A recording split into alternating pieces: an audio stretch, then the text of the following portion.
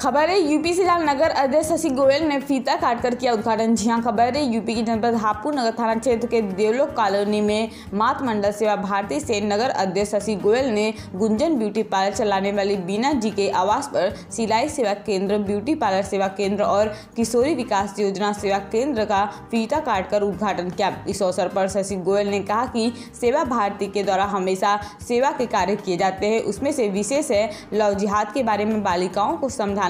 संस्कृत का लोक होता जा रहा है। संस्कृत की तरफ़ लाने के लिए धर्म से संबंधित कार्यक्रम कर रहे हम सांस्कृतिक सुधा सागर के द्वारा। हर मंगलवार को हनुमान चालीसा का बच्चों को बिठाकर इकट्ठा करके पाठ कराया जा रहा है ताकि धर्म की तरफ़ ले जाए, जा सके। बच्चों के लिए निःशुल्क ट्यूशन की व्यवस्था है, निःशुल्क योगा की व्यवस्था है, सारी व्यवस्थाएँ मातृ सेवा भारती के सदस्य और पदाधिकारी मिलकर करते हैं। हमारा हर कदम उन बच्चों के लिए है जिनके माँ बाप उनको पढ़ाना तो चाहते हैं धन के अभाव के कारण प्रशिक्षित नहीं कर पाते। के लिए जगह जगह पर इस तरह के सेवा केंद्र खोले जाते हैं। अब तक कोविड 19 से मैंने 16 सेवा केंद्र खोले हैं। इस मौके पर घनश्याम जी, जिला मंत्री ओम प्रकाश जी, नगर मंत्री सुनीता जी, जिला उपाध्यक्ष प्रांत से गायत्री जी और अर्चना कंसल जी, सत्येंद्र गौड़, एडवोकेट कविता, एडवोकेट संयोजिकता संगीता यादव जी और सभी पदाधिकारी कार्यकर्ता मौजूद देखे हापुड़ नगर से हेमंत चौधरी की यह खास रिपोर्ट। सेवा केंद्र खोल रही है, जिसके अंदर सिलाई निःशुल्क सिखाया जाएगा